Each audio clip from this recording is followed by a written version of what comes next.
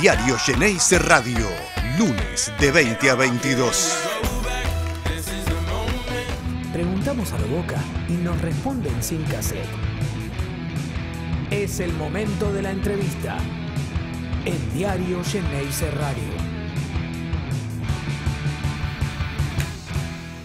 Y estamos en comunicación, como, como solemos tener acá comunicaciones internacionales, con Julio Meléndez Calderón, exfutbolista de Boca, que estuvo vinculado a una noticia falsa muy triste este fin de, este, este fin de semana.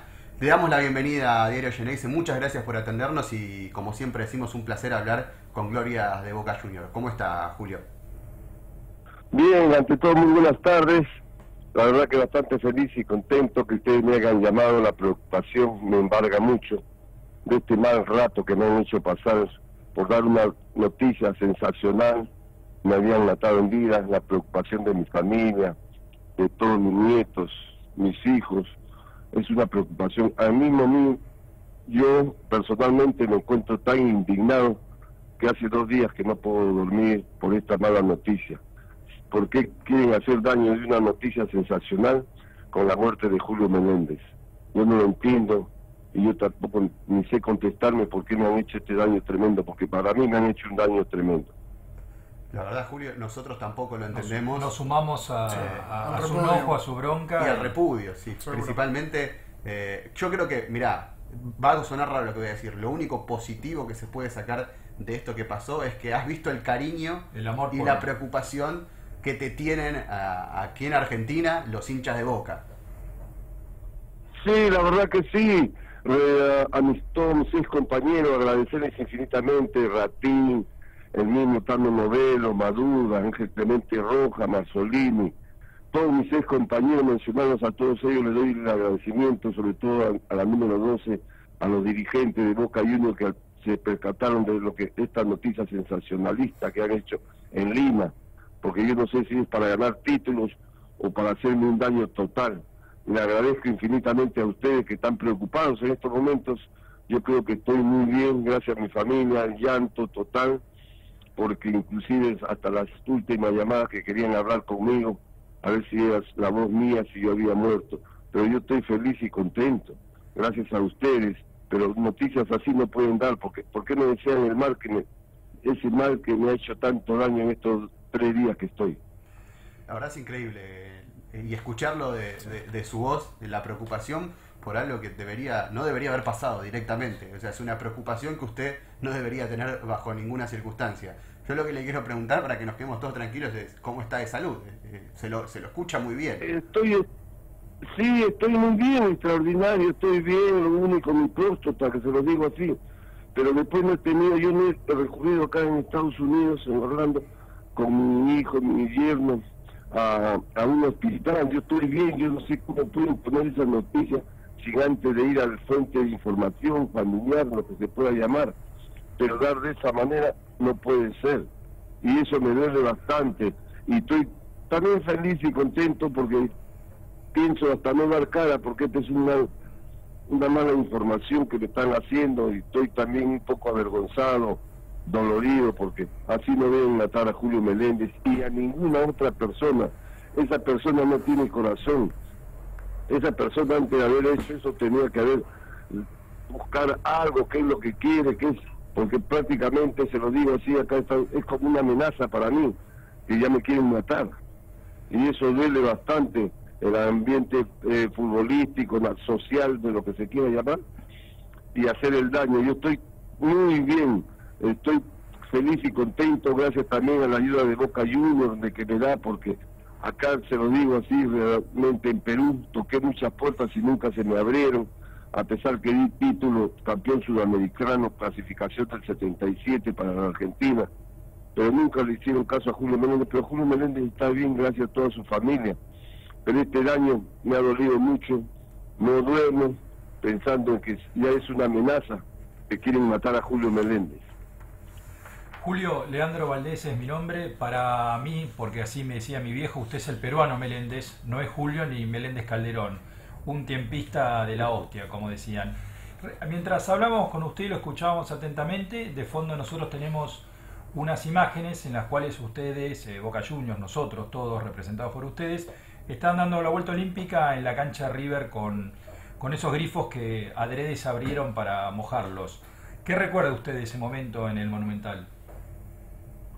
Lo que pasé con Boca y hoy me lo están demostrando que no he sido del momento. Me siguen queriendo en el año 70, y 70 cuando nosotros campeonamos y dar la vuelta olímpica en el Monumental. Fue una alegría tremenda que mucha, muy pocos jugadores han dado la vuelta olímpica en River y nosotros conjuntamente con ese tiempo con Marzolini, con el mismo Sánchez, Uñé, el mismo Orlando Medina, Madurga, Novelo. Para mí fue sensacionalista y muy agradecido por todo el apoyo que ustedes me han dado. Y ese, como usted lo dice, allá en Argentina no conocen a Julio Meléndez, conocen al peruano y su ballet que triunfó en Boca y dejé buena escuela. Pero gracias a todos mis compañeros, a toda esa gente que siempre me está apoyando, a Estela, a Maris, a Itale, a todos ellos, se los agradezco infinitamente porque en el momento que salió la noticia me han dado esa alegría, pero aparte de eso ya quiero estar tranquilo y sé que la afición me sigue queriendo y más que nada toda la hinchada número 12 para Boca, para ellos, mi agradecimiento total. Julio, ¿qué, sentías cuando te cantaban esa canción? Pues me imagino la, emoción de tener un cantito propio, no, no se compara con nada. En un equipo multicampeón además. Sí, la verdad que sí en ese momento yo como futbolista y a todos le debe pasar esa sensación que le nombren su nombre, ¿no? Que como me decían el peruano y su ballet, el negro, el 2, era tan extraordinario que pasé con la hinchada de boca con mis seis compañeros que hasta ahora lo sigo recordando. Y ante todos ustedes, a todos los que están arriba, que me están bendiciendo, eh, es la felicidad más grande, dar la, vuelta olímpica, que River también quiere darla en la bombonera, pero creo que eso va a ser, imposible. La vimos nosotros ganándoles a Rosario Central 2 a 1 y esa satisfacción esa noche fue tan extraordinaria que la misma hinchada de River nos abrió los caños para echarnos agua, pero así la vimos a la vuelta olímpica. Y la felicidad desde los seis años, siete que tuve con todos mis compañeros, para mí fue extraordinario. Julio, y, además eh, con el aliciente de ser extranjero, digo, es tal vez a veces es más difícil, ¿no? Entrar en el, en el corazón de una hinchada ajena y, la satisfacción debe ser enorme. También de representar a tu país eh, en un equipo tan grande como Boca. No, aparte de eso es la satisfacción que ellos me, quieren mucho, los compañeros me ayudaron tan enormemente, me dieron esa felicidad de que yo era un argentino más, un negro argentino estar triunfando en Boca Juniors, el apoyo de la número 12 de mis compañeros, como se lo menciono a todos ellos, desde Rubén Sánchez, de Antonio Roma, que está en el cielo también, que nos, nos está bendiciendo, pero dar, jugar en Boca y ponerse esa camiseta, no era ya un extranjero, sino era un nacional más argentino.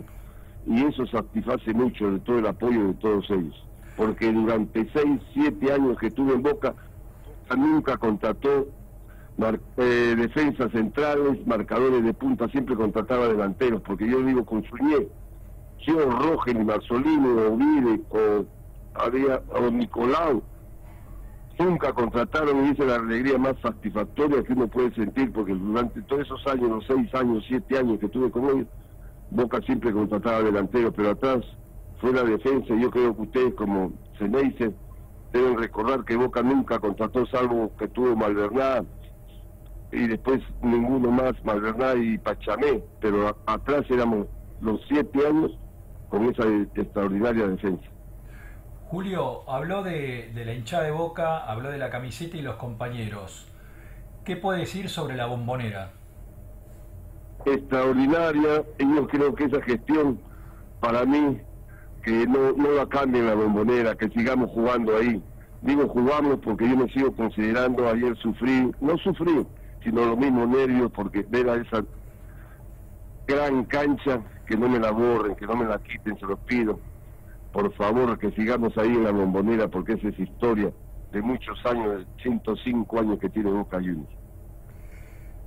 excelente. Hermosas palabras. Hermosas palabras. Como decimos siempre, el sentimiento que, que queda impregnado en jugadores que tal vez no se formaron en el club, que llegaron y, y que ven en la bombonera y en Boca algo que no pueden borrar nunca más de sus vidas. La verdad que sí, yo nunca borraría la bombonera, para mí es extraordinario. Felicito a todos los dirigentes que son dirigentes de, Boca Juniors, que, que sigan manteniendo esa cancha que es milagrosa, sagrada. Si pueden agrandar las tribunas, que la agranden, porque Boca es Boca.